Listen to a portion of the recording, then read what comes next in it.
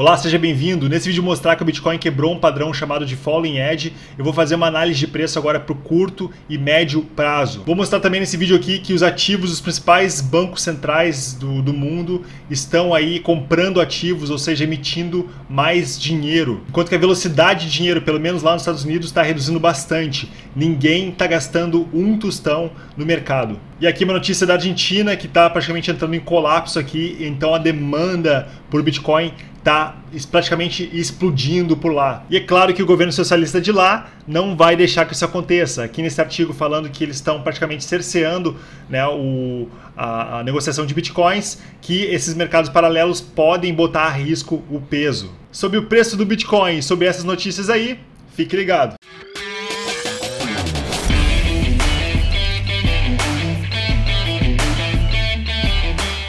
Bom, para começar o vídeo aqui, vamos entrar então no gráfico do Bitcoin para entender o que está acontecendo. Aqui então a gente tem basicamente o Bitcoin quebrou esse padrão que é chamado de Falling Edge, tá? É um padrão muito conhecido para quem faz trading aí. Então isso aqui basicamente tem uma, uma, uma, uma chance de quebrar, geralmente a, a, chance é maior de quebrar aqui para cima, tá? Do que quebrar para baixo. Então, uh, isso aqui estava previsto acontecer. Contudo, eu, eu pessoalmente não estava acreditando, porque a gente está vendo aqui uma capitulação acontecendo agora mesmo, né, dos mineradores. A hash rate do Bitcoin está reduzindo muito, tá? E vai reduzir bastante. Eu acredito que até pelo menos aqui, até aqui mais ou menos, ó, metade de junho, até o dia 14 de junho mais ou menos aqui, a gente vai ter uma redução bem drástica na, na, na hash rate, porque é o tempo que demora para o para o ajuste de dificuldade né, voltar. Então eu acho que aqui, aqui nessa data aqui, até ali a gente vai poder ver um preço bem reduzido do Bitcoin e eu acho que vai ser uma boa oportunidade de compra aqui, tá? Mas a gente não tem como saber exatamente o, a, qual o momento que os mineradores vão retomar, tá? Mas aqui, com certeza, final de junho, eu acredito que ainda vai ser um preço bom de compra até a gente conseguir aí entrar na nova era, novo ciclo e eu estimo que o Bitcoin possa é, chegar aí no, no, final de 2000 e, e 2021 e pelo menos 100 mil dólares, tá? Mas isso aqui é um estudo que eu mostrei em outros vídeos, eu vou focar aqui agora no curto prazo para a gente poder entender o que aconteceu. Então o Bitcoin,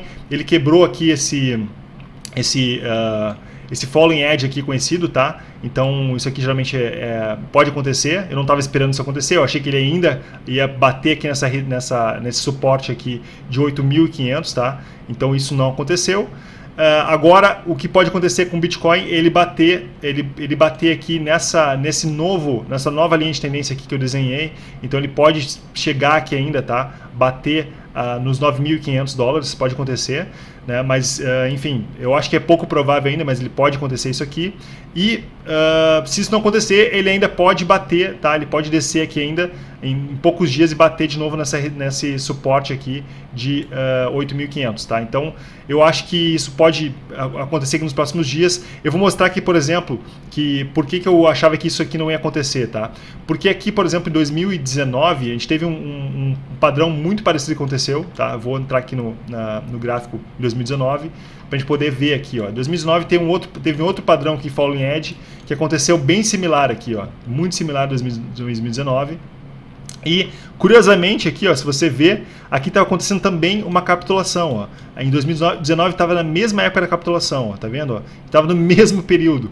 E o que aconteceu com o Bitcoin aqui, ó, nesse, nesse falling edge aqui, o Bitcoin simplesmente quebrou aqui para baixo né, e despencou o preço, né, logo aqui antes da, da capitulação. Então eu imaginava, sinceramente, aqui, minha opinião, eu estava pensando que o Bitcoin ele ia cair uh, bastante de preço, tá? inclusive baixando, uh, reduzindo aqui. Uh, ficando abaixo daquela, daquela, dessa linha aqui de, essa linha que eu mostrei aqui, ó, essa linha de suporte aqui, tá? Esse aqui é um suporte bem conhecido do Bitcoin. Se a gente der um zoom no gráfico, a gente vai ver que esse, essa linha aqui, ó, ela bate aqui, ó, várias vezes, tá? Em vários loca locais aqui.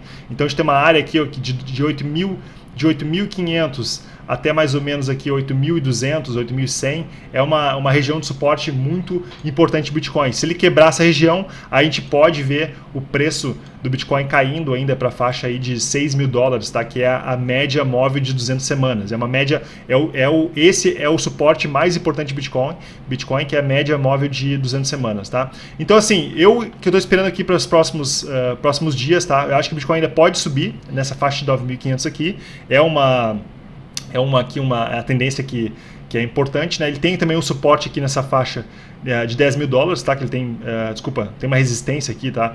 De 10 mil dólares que ele sempre bate aqui e volta, né? Não consegue superar os, os 10 mil dólares. Então, acredito que possivelmente ele vai bater nos 9.500 e Uh, como a gente tem a capitulação ocorrendo agora mesmo aqui, tá? Eu acredito que o preço, a tendência dele é cair, porque a gente não está vendo uma a hash rate do Bitcoin, ela está muito, muito baixa, está reduzindo cada vez mais.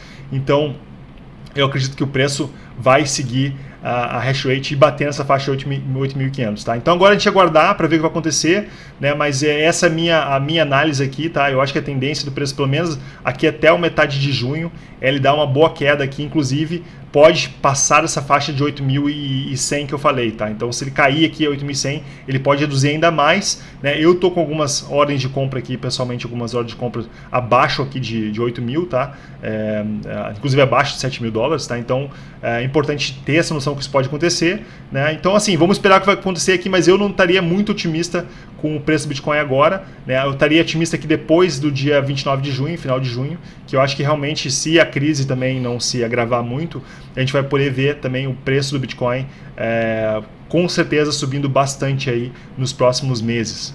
Agora, só comentar esse gráfico aqui que eu achei bem importante em relação ao total de ativos dos, dos principais bancos centrais né, do mundo. Então a gente vê que aqui ó, que está todo mundo comprando ativos. Por que eles fazem isso? Né? Eles compram para poder emitir dinheiro. Né? Então todos os bancos estão na mesma situação.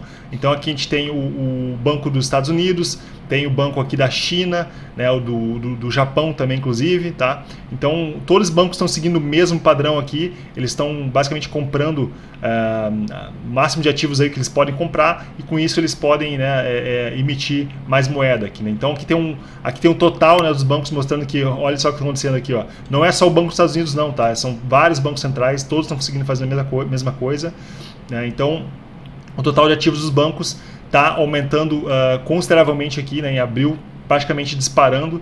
Então é bom ficar atento porque a gente está vendo que eles vão realmente não vão parar de imprimir dinheiro, né? Que a gente está vendo que esse é o, é o, é o motivo aí que o Bitcoin né, é, existe, né?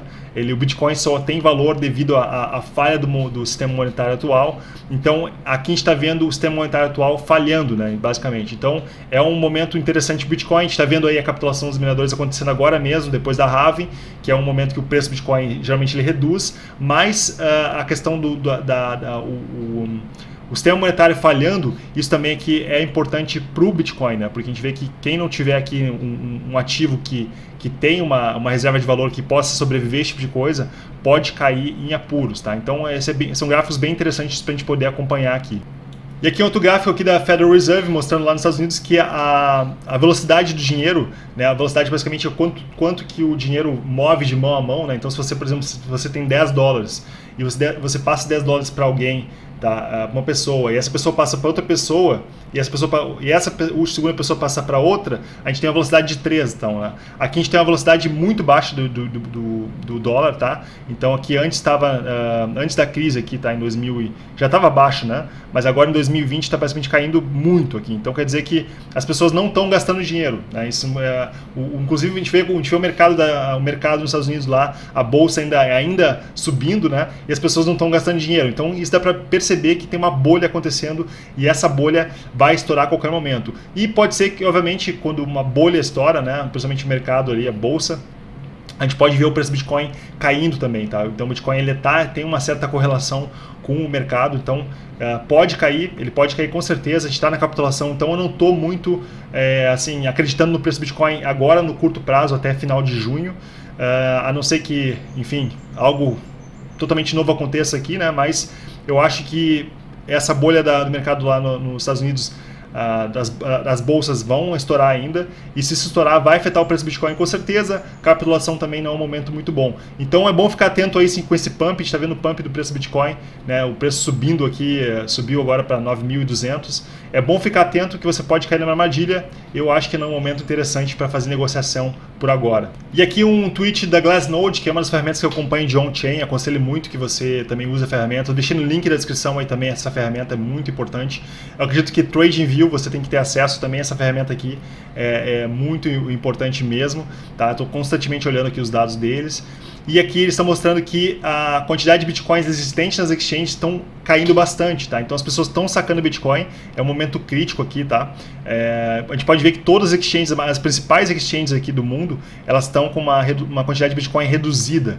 Tá? Somente a Coinbase, que praticamente aqui, que é essa linha azul, que ela não seguiu esse padrão. Então a gente está vendo as pessoas sacando Bitcoin. Inclusive, eu estou pensando em fazer um vídeo aqui, acredito que próximo sábado, fazer um vídeo mostrando como você é, pode ter uma segurança e montar uma carteira legal de Bitcoin, tá? E, e ter, ter, total segurança, porque eu acredito que você, se você tem uma quantidade grande de Bitcoin, é importante que você saque, né? Porque a qualquer momento a gente pode ver, inclusive, alguma legislação, alguma coisa, como está acontecendo em alguns países, tá? Aqui, por exemplo, na Argentina, está acontecendo exatamente isso aqui, tá? A, a demanda para o Bitcoin está aumentando, porque as pessoas estão vendo lá que o país tá, tá falindo, né, basicamente. Então, as pessoas querem comprar Bitcoin, querem sair dessa loucura. Né? Aqui, por exemplo, nesse artigo aqui tem um gráfico, tá mostrando isso aqui, ó, que o, o, o volume, né, aqui basicamente nessa linha aqui, ó, são as, a, a o volume de pessoas que estão querendo, né, uh, querendo comprar uh, Bitcoin. Tá? Isso aqui não quer dizer que o preço do Bitcoin está aumentando, né? mas sim porque a moeda deles está desvalorizando bastante, então eles querem realmente se livrar da moeda. Né? Você tem que. Eh, a moeda está perdendo valor, então você quer se livrar dela o mais rápido possível. Foi exatamente o que aconteceu, por exemplo, na República de Weimar, lá na Alemanha, e vários países que sofrem com hiperinflação acontece a mesma coisa. Então as pessoas querem se salvar com Bitcoin. Né? Então é, isso aqui é uma notícia interessante mostrando isso aqui. Só que, obviamente, o governo aqui na Argentina não está é, querendo que isso aconteça. Eles não querem que o povo argentino use um mercado paralelo né, para poder ter uma reserva de valor. Então, basicamente, estão aí querendo né, cercear aí o, o, Bitcoin, dificultando aí por questões de legislação. Isso pode com certeza acontecer na Argentina, né, porque a gente sabe que lá a situação é complicada, né, o socialismo né, tá, uh, funciona até acabar o dinheiro e está acabando, né, essa aqui é a verdade. E isso não é só na Argentina também, tá? Aqui na Rússia, por exemplo, tem uma notícia aqui falando que a Rússia está agora com, uh, tá propondo uma lei para criminalizar criptomoedas. Então, basicamente, quem tiver negociando criptomoedas, vão fechar todas as exchanges, se isso for, for aprovado, né? As exchanges lá vão fechar. Se você usar Bitcoin para pagar qualquer coisa, né? Qualquer que for o motivo, e te pegarem, você pode pegar 7 anos de prisão ou pagar uma multa também aqui, se não me engano, deixa eu ver se eu acho o valor da multa, mas é uma multa de 7 mil dólares, tá? Se você usar Bitcoin para transações financeiras. Então, os, os governos não vão querer que, que, que você aí pare de usar a moeda deles, né? Uma moeda que é praticamente uma fraude. Eu vim falado aqui no canal sobre isso. Né? Todo todo banco central aqui eles têm eles têm são legalizados para fazer uma fraude, tá? Eles têm uma são eles são uma, ah, ah, uma fraude legal, tá? Isso basicamente como funciona. Então eles não querem perder isso aqui. Então a ideia deles é cada vez mais cercear é, o Bitcoin, tá? Então é bom você ficar atento aqui. Eu vou fazer um vídeo, um próximo vídeo aí sobre como você ter segurança e para você tirar os seus Bitcoins da, da exchange. Então provavelmente vou fazer um vídeo aí no sábado. Então é bom você ficar atento por aí. Então é isso. Se você gostou do vídeo, não se esqueça de deixar o seu like e para você não perder nenhuma notícia importante e também análise de preço do Bitcoin, se inscreve no canal. Vou colocar muita coisa boa ao longo das próximas semanas aí e eu vejo você muito em breve. Um abraço.